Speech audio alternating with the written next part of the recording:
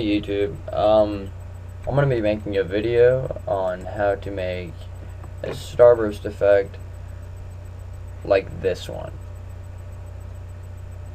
Now, I don't know why you would really need something like this other than just making a background or something. I mean, a Christmas card, I guess. But I don't really know. All I know is they're really fun to make, really easy, and they're just kind of cool looking. Alright, and so we're just going to go ahead and jump right in and get started. Alright, what you want to do is you want to go File, New, and make a new, a little new document. You, it really doesn't matter what size, just make it a decent size. Mine's 10 inches by 10 inches. Leave everything else alone, and you'll be okay.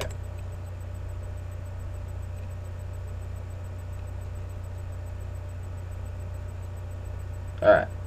So here's our new document. Now what you want to do is you want to make this background there. You want to select your gradient tool and choose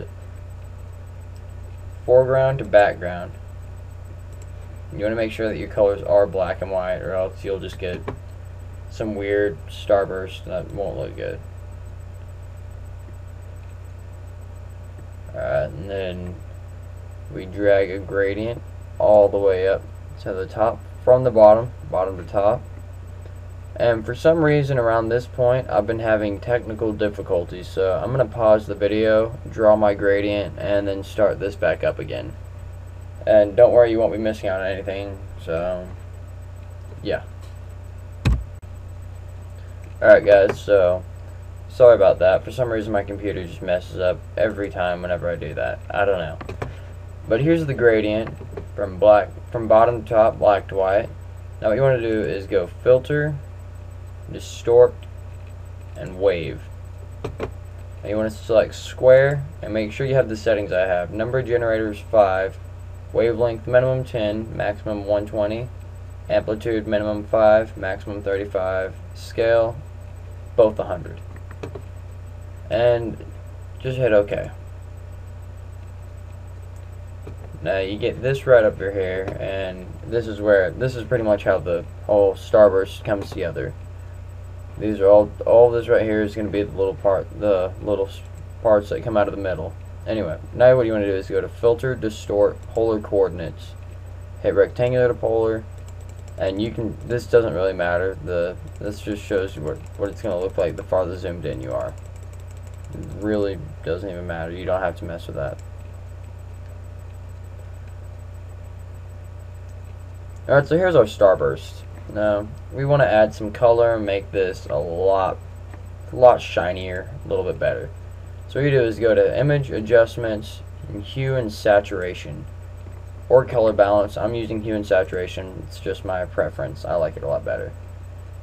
Check Colorize down here in the bottom. And just slide down till you get a color that you like. And then you can mess with the saturation, make it darker, more like vibrant of a color, I guess you could call it. And that one looks pretty good for me. Yours does not have to be the same color. It does not matter what color you make yours. Just hit OK. Go to Filter, Render, Lighting Effects. This is what's going to make it really shiny. It makes it a lot better. You want to select light type as Omni. Your intensity. just mess with this till you get something you really like over here in your little preview menu over here. That like can make it like extremely bright, just where can't see anything. You can make it black where you don't see anything except for the color black. So you can just mess around with this. Gloss, you can make it shiny or just mess around, get something that you like. For this, I'm going to make mine shiny because it makes it a little bit more vibrant. Exposure, uh, you really don't want to mess with this all too much because you can really overexpose your picture and make it just not that good looking. Underexposure, can't see a thing. So just leave this at about zero. You can mess with it a little bit, I wouldn't mess with it too much. Ambience just makes just how far out you're going with this. I like mine at about 21 for this picture. Whoops. Sorry about that, guys.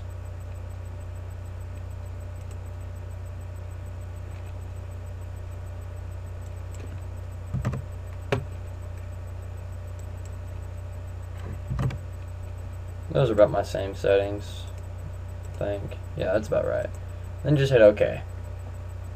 You can see it's nice bright center here.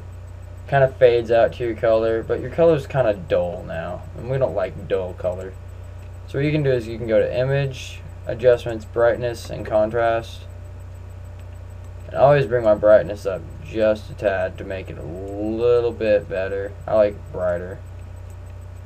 I normally don't mess with the contrast, so I'm just going to leave mine back at zero. And just hit OK. Now it's really bright. You got your color in there. But here's where the real color matters. When you colored it before, it really didn't matter all that much. Now go to Hue and Saturation.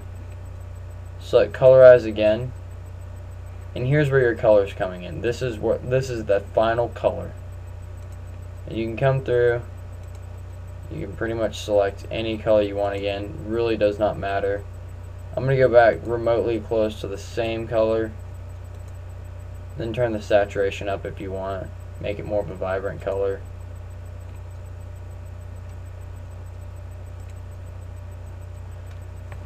There you go. We have a little starburst effect right over here.